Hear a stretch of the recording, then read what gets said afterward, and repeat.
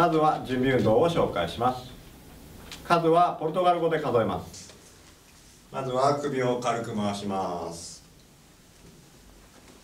反対回しうん。ドイストレイス。横向きます。うん。ドイストレイス。コアトル下。上。下。上。腕を大きく回します。うん。ドイストレイス。反対。うんドイストレイス。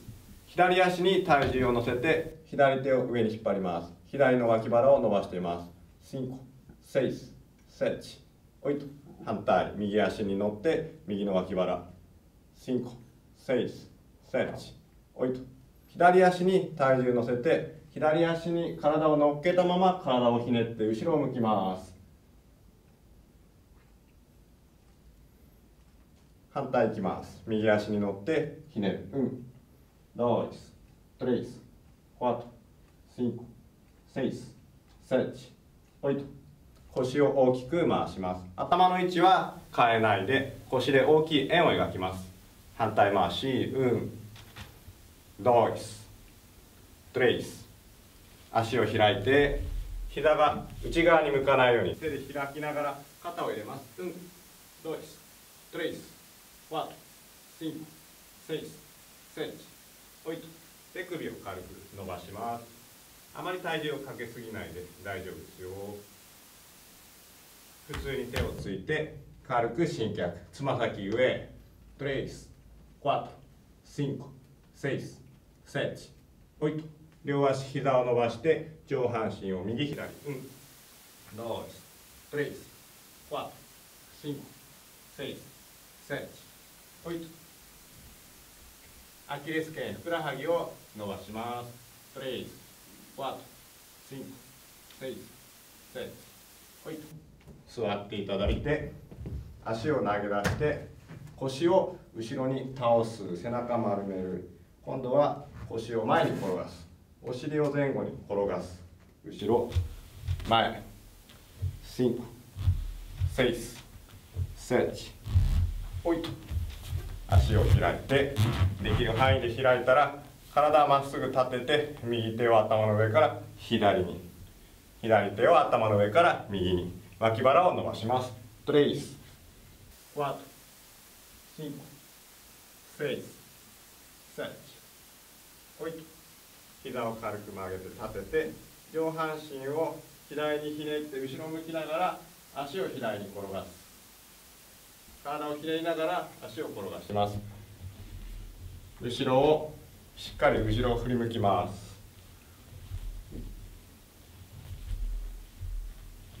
ストレッチ。ほい両足膝を抱えて背中を伸ばしたいんで前後に軽く揺れます。足を伸ばして軽く腹筋です。10秒間キープしましょう。うん。ドイストレイス4 5 6 7 8伸びレイス膝を抱えて背筋を伸ばして深呼吸したらゆっくり起きます。頭を最後に起こしてください。以上です。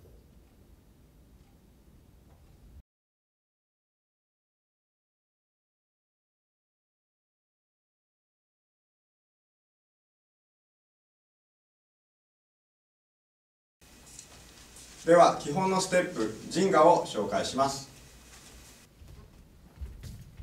このように足で大きく三角形を描きながら肘で顎を守ります。歩くのと同じで出ている足と反対の腕で守ります。これが例えば後ろに体重がかかって行うや真ん中の時に足が伸びたりすることのないように深く前に体を倒して前傾姿勢のまま行います。後ろに置く足はしっかり伸ばしかかとはつけない。前の足は曲げ続ける。足を横に開く時も膝が内股になったりしないで常に深く力強く行います。左足を下げながら左手でガードします。横後ろ歩幅を大きく。これが実際に相手がいるとどうなるかというとこのように力強くファイティングポーズをとり常に相手から目をそらさずガードをしっかり続けます。今同じ方向でステップしていますがこれがずれたとしても構いません。ジンガはその場で三角形を足で描くだけではなく歩幅を変えて相手の周りを回り込んだり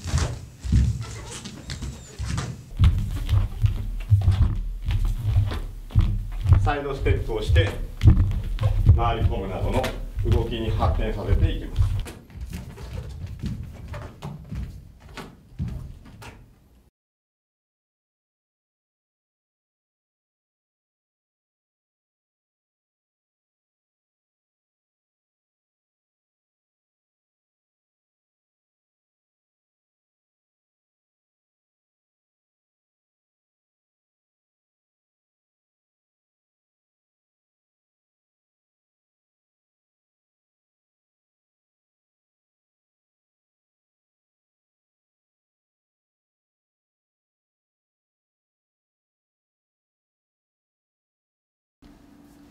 床の移動技骨の紹介をします。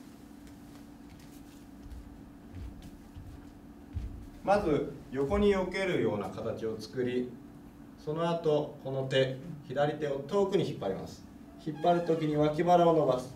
脇腹が伸びてその結果お尻が上がり足が1個ずつついていきます。横に避けるような形からまず左手をついてその後右手を引っ張る。この時顔がこっちから出ない。手と手の中に顔を入れます。そして顎を引いて常に前を見ます。この時に下を向くことのないように前に相手がいることをちゃんと考えて行う。ガードしながら起き上がります。これを実際に人がいる状態で行うと相手をお互い見ながら場所を入れ替えるように使います。目線を外さないで行います。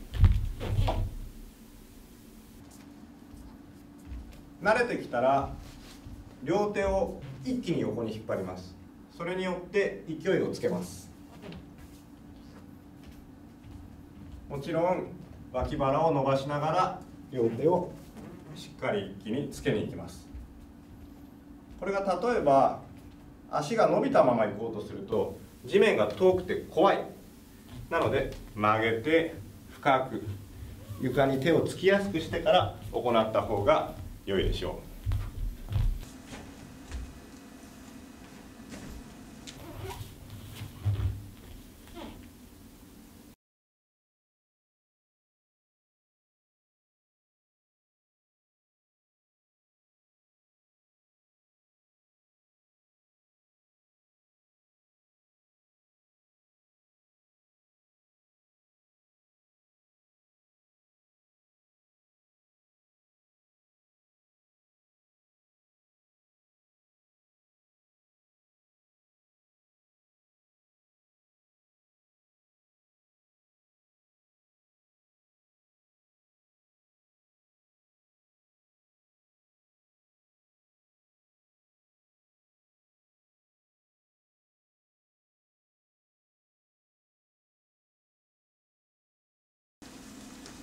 移動技アウです。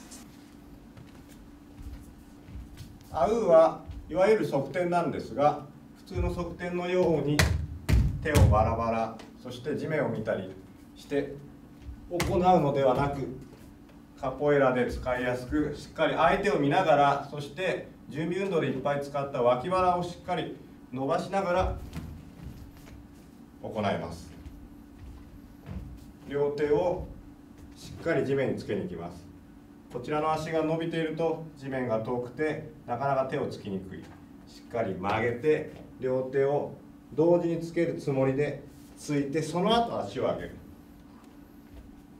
慣れないうちは両手をついたら両足を一緒に上げて一緒に着地する感じにして行っても大丈夫です。最初から足をきれいに上げる必要もありません。慣れてきたら両手をついた後足が1個ずつ左足右足そして1個ずつ着地するように上半身下半身さらに右足左足をバラバラに連動させて繰り出します。相手がいる状態で使うとこのように円を描き相手と場所を入れ替えるように相手の裏を取るように使いますので真横に出せるだけではいけません。他にもさまざまな形のアウがあります。こちらの手で行う片手のアウ。こっちの手で行う片手のアウ。足を畳むアウフェシャード縦に回転させる。アウヘベフさん。そして手を使わない。アウセンマンです。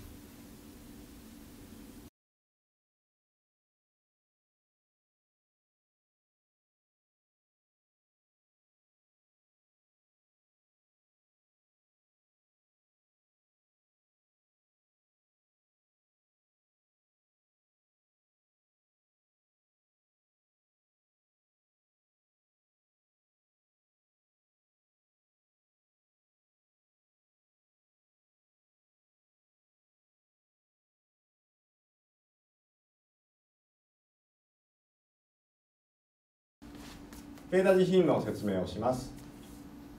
ケダ自品は3点倒立とカエル倒立が混ざったような技なんですが最初は頭をつけて3点倒立のようにやる。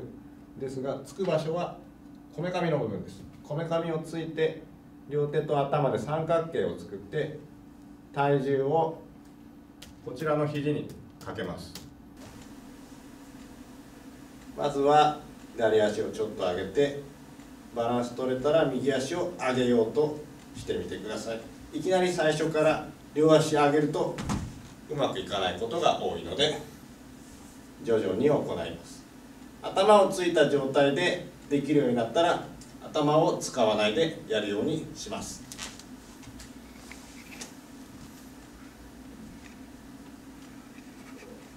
膝を曲げて胸を顔を前に向けます。後ろから見るとこのようになり床に対して前腕部分がまっすぐ立つようにします。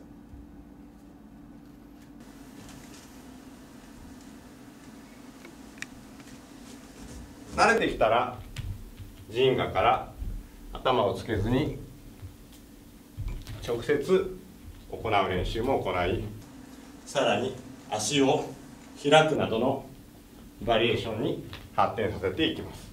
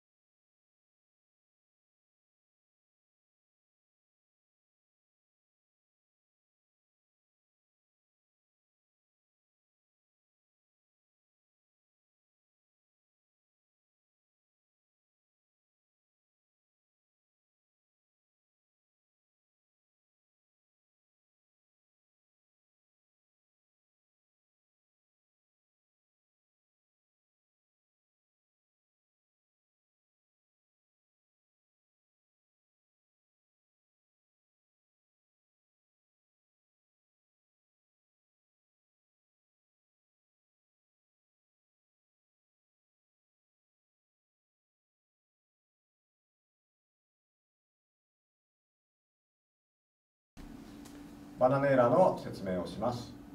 バナネーラは要するに逆立ちなんですがまず練習方法としてよく手を上に振りかぶって月に行こうとする人がいるんですがそれだと地面が遠くて怖くなってしまうので前に出して差し込むように手を前に差し込むようにして行った方が楽です。そしてカポエラは常に相手がいるので地面を見ないで前を見続けます。悪い例を行うとこのように下を向いたり腰をすごく反ってしまったり斜めにしてしまいます。まっすぐで一本の棒になるようにして行います。降りるときは足を1個ずつ下ろして静かに着地します。バリエーションとして足を畳むやり方。それや足を前後に開く。その発展として攻撃をする。などのやり方があります。